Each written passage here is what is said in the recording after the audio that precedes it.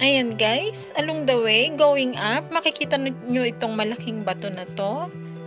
Ayan, maganda yan sa pictorial. Pwede nyo ring akyatin kasi mayroon ng mga hagdan paakyat dyan. Kaya lang po konting ingat kasi talagang matarik siya.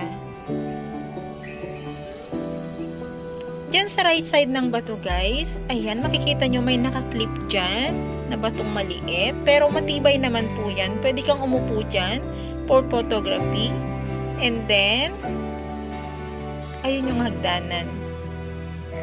Hindi ka mahihirapang akyatin kasi talagang nilagyan nila ng hagdanan. Sa mga nais pong mag-hike, yung maiksi lang ang lakarin, recommended po itong Devil's Peak kasi malapit lang siya sa MTR station. And then, mag-enjoy ka talaga dun sa views kapag nandun ka na sa pinaka-peak niya. Maganda siya guys. Try to find out and then makikita nyo na napakaganda ng lugar na to. Lalo na kapag sa mga photoshoot.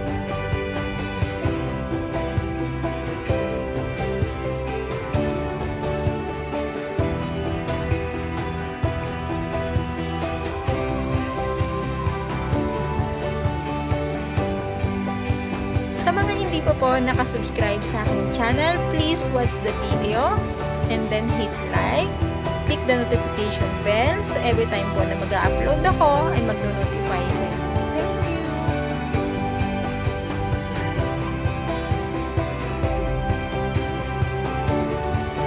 Ayan guys, going out there, yan po yung istakan ng mga uh, sandata ng mga pirata noon.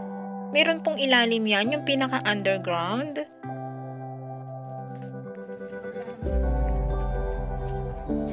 This place, guys, is preserved by the Hong Kong government to preserve yung mga historical places nila para parang pag pinuntahan mo is nag-look back ka dun sa time na yon. This way is facing to the harbor.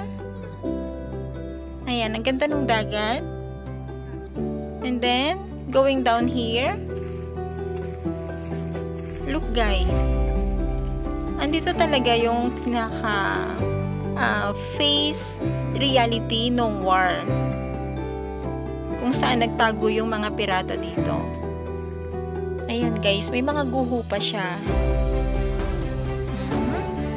Dito medyo madilim. Dapat matapang ka para makapag-pictorial ka dito kasi uh, parang scary na siya. Nakikita nyo talaga yung may guho-guho pa siya. As in, uh, gawa pa siya nung time na naglalabanan. Look over here. Parang anytime may lalabas.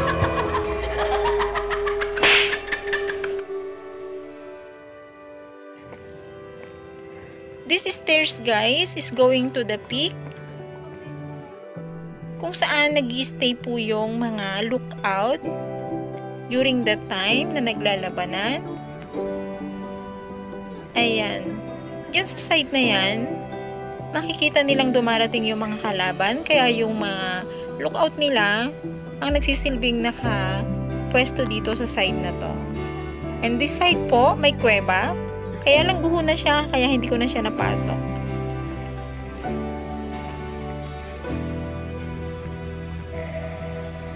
Come here guys. Tingnan natin yung bandang taas. Nandito yung pinakamagandang side. Ayan. See?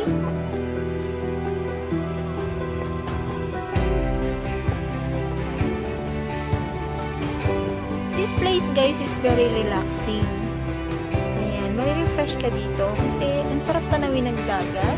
Ang sarap tanawin nung nagagandahang puno, mga bundok. Ayan, pwede kayo mag-picnic dito. Okay, that's all my vlog for today. Thank you for watching.